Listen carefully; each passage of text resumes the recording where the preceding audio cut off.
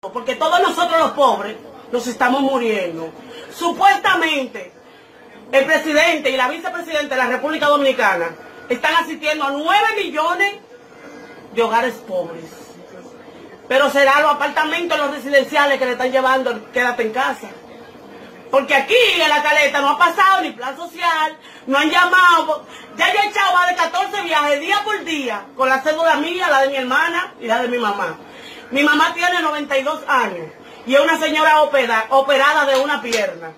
Tiene una prótesis en una pierna. ¿Qué pasa? Que nos estamos cayendo a pedazos. Cuando salimos después de las 4 de la tarde, que podemos, que, ah, fulano salió de trabajar, y salimos a las 4 y media de la tarde, ya está la policía en la calle, que uno no se puede mover y uno sin comer todavía. ¿Cómo nos quedamos en casa? No es el plan quédate en casa. El plan es muérase en casa. Muérase en su casa solo. Porque no han desahuciado. No han dejado desamparado. Si así viven los, pudientes, como salimos nosotros, como pudientes, enfócale para arriba al techo de la casa. Enfócale la cocina, ven. Mire cómo, mire, mire la pudiente. Esta es la pudiente. Si así somos los pudientes, ¿cuáles somos los pobres? Señor presidente, estamos pasando trabajo. Aguantamos más. Ya dieron 17 días más. Y en esos 17 días más nos vamos a morir. Porque no aguantamos. Nos está matando el hambre. Yo soy trabajadora social. Yo lavo y plancho. Yo soy una picotera. Yo soy una joseadora.